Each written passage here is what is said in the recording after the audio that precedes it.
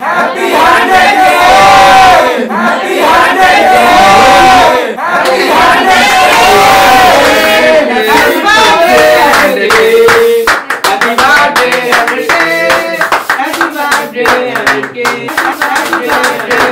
এই হান্ড্রেড কে সবার প্রথম যে অধিকার, সেটা কিন্তু তোমাদের। কারণ তোমাদের জন্যই কিন্তু এই জায়গাটায় এসছে। আমরা এত বড় সদস্য সংখ্যায় পরিণত হয়েছি। এক লাখ পেরোনোর গন্ডি মানে ভাবাই যায় না। যখন প্রথমে স্টার্টিং করেছিলাম ভাবিনি কোনো দিন যে এক লাখ পর্যন্ত পৌঁছে যেতে পারব। তো সমস্ত কিছু তোমাদেরই, আর এই কেকের প্রথম অধিকার তোমাদের। তো কেকের প্রথম বাইকটা অধিকার তোমাদের। কেন এই কথা বললাম? আমার এখনও মনে আছে, আমার যখন পায়ের অপারেশন হয়েছিল অ্যাক্সিডেন্ট হয়েছিল, আমার মায়ের যখন শরীর খারাপ হয়েছিল, আমার বাবার যখন শরীর খারাপ হয়েছিল লকডাউনে অনেক খারাপ পরিস্থিতি গেছে।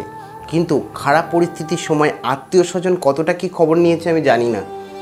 কিন্তু তার থেকে বেশি তোমরা প্রত্যেকটা ভিডিওর কমেন্ট সেকশনে বা কমেন্টের কোনো পোস্টে সবসময় বলেছ, দাদা, তুমি কেমন আছো? তুমি কেমন আছো?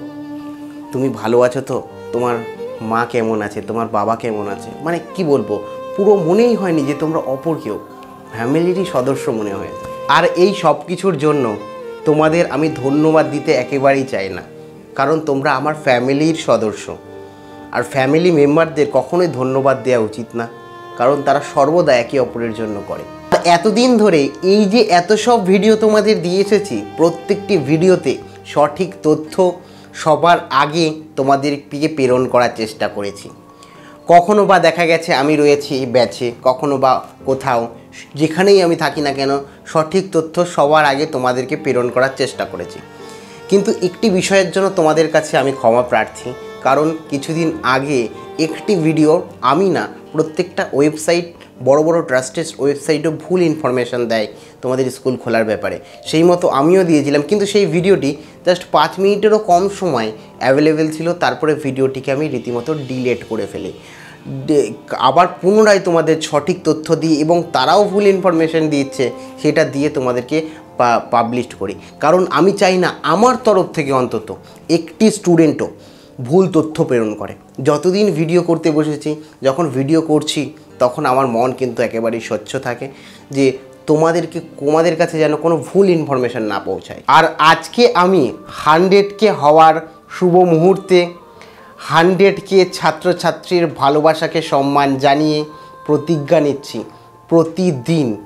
যেরকমভাবে হোক না কেন আমার যেরকম পায়ের অপারেশন ছিল বা অন্য যে কোনো কারণেই হোক, আমি যদি সজ্ঞান অবস্থায় থাকি, তাহলে তোমাদেরকে প্রতিদিন ভিডিও আপলোড করব, সঠিক তথ্য প্রদান করব, যেরকমভাবে আমার মন স্বচ্ছ রেখে তোমাদের জন্য ভিডিও করব এবং তোমাদের যে প্রতারণা করার চেষ্টা করবে, তোমাদের সঙ্গে ছলনা করার চেষ্টা করবে বা নিজের স্বার্থে ছাত্রছাত্রীদের ভুল দিশা দেখানোর প্রচেষ্টা করবে কিংবা তোমাদের কোনো ক্ষতি হয়, এমন কোনো ডিসিশন সরকার নেবে, তার বিরুদ্ধে যেরকমভাবে আমি আওয়াজ উঠিয়েছি, সেরকমভাবে প্রতিনিয়ত আওয়াজ ওঠাবো এবং ছাত্রছাত্রীদের পাশে থাকব।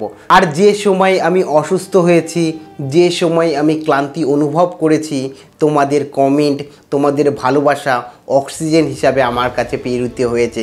সেই কারণেই হয়তো বা কোনো সময় দিনে, কোনো সময় মাঝ রাতে তোমাদের জন্য ভিডিও করতে আমি সক্ষম হই।